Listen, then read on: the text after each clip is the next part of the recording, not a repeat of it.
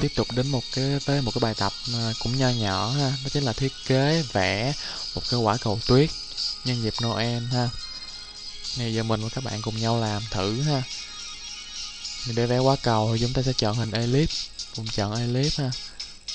Chúng ta sẽ vẽ một cái vùng tròn ha, giữ ship để vẽ ha. Đó.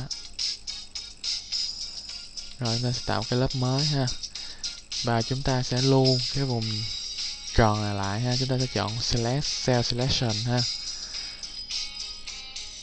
Như hình cầu ha. Rồi chúng ta trong cái đó chúng ta tạo, tạo lớp mới ha. Chúng ta sẽ dùng cọ. Nét cọ mềm ha. Rồi nét cọ mềm. Opacity chúng ta sẽ tăng giảm lại ha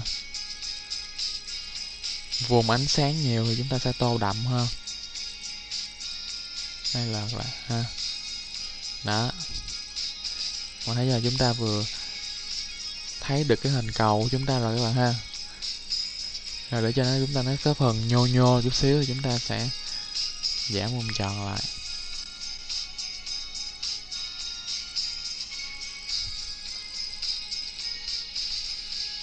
Nó sẽ vẽ vào các bạn ha đó. Ha, chúng ta đã thấy được hình cầu, chúng ta nó sẽ có cái cái độ tròn ha rồi ha. Rồi, tiếp theo tạo một cái lớp mới để chúng ta vẽ tuyết. Ha, các bạn có thể lên google gõ cái là brush photoshop snow để chúng ta tìm hiểu ứng tuyết chúng ta chèn vào ha. Thì đây mình sẽ làm một cái đơn giản thôi ha. Đó hai thêm tuyết vào à, nhỏ hôm nay chơi hôm nay lắc lên các bạn ha thì nó sẽ có tuyết nó sẽ bung lên. Và tuyết ở đây nó sẽ đóng ở dưới đây ha một vài cái lớp tuyết dày dưới đây ha.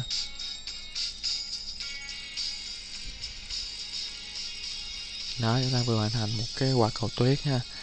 Thì bây giờ chúng ta sẽ đưa thêm một vài cái đối tượng vào các bạn ha.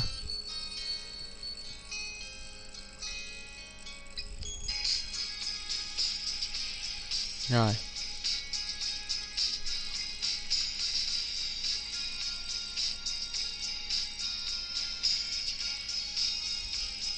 Nó sẽ đưa một vài cái đối tượng vào, ví dụ như cái quả cầu này chẳng hạn ha. Và lưu ý khi chúng ta google chúng ta sẽ search. Ví dụ như Christmas ball là những quả cầu những quả trâu trên cây thông ha. Bạn lưu ý là chúng ta sẽ đưa thêm cái đuôi là BNG thì chúng ta được có nền trong suốt thế này, chúng ta sẽ không cần cắt lại rồi ha nó có trên A, có trên C, có trên W và có trên V. Bát ra lưu ý là kéo xuống cái lớp dưới. Ha, dưới cái mạng kính quả cầu ha. Đó. Chúng ta sẽ cho một vài đối tượng vào nữa các bạn ha tùy ý các bạn lựa chọn ha. Nên sẽ các bạn yêu thích là được rồi ha. Đó nó sẽ cần chúng ta kéo ra ha.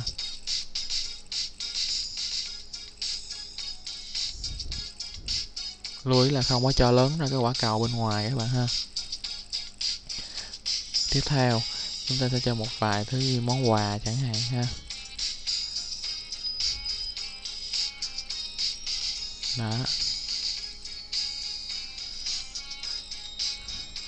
Ta sẽ tìm thêm một vài hình ảnh của Santa Claus bỏ vào ha. Ví dụ như Santa Claus này rất là ngộ nghĩnh nè ha. Đó. Rất là dễ thương ha hợp với những cái ờ, đối tượng nằm ở trong quả cầu của chúng ta, ha.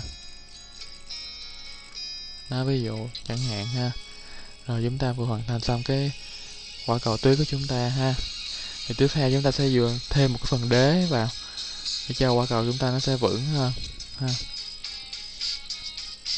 Rồi chúng ta sẽ chọn vùng chọn hình vuông chẳng hạn, ha. Ta sẽ vẽ cái đế vào, ha.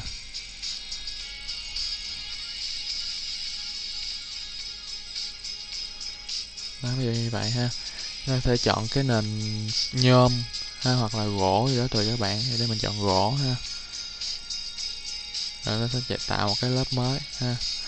Giữ tổ hợp phím Ctrl Shift Internet V pass vào các bạn ha. Rồi Ctrl T hiệu chỉnh lại. Ha. Rồi mở cái lớp này lại ha. Đây, kéo lên trên sau đó chúng ta sẽ tạo bóng cho nó ha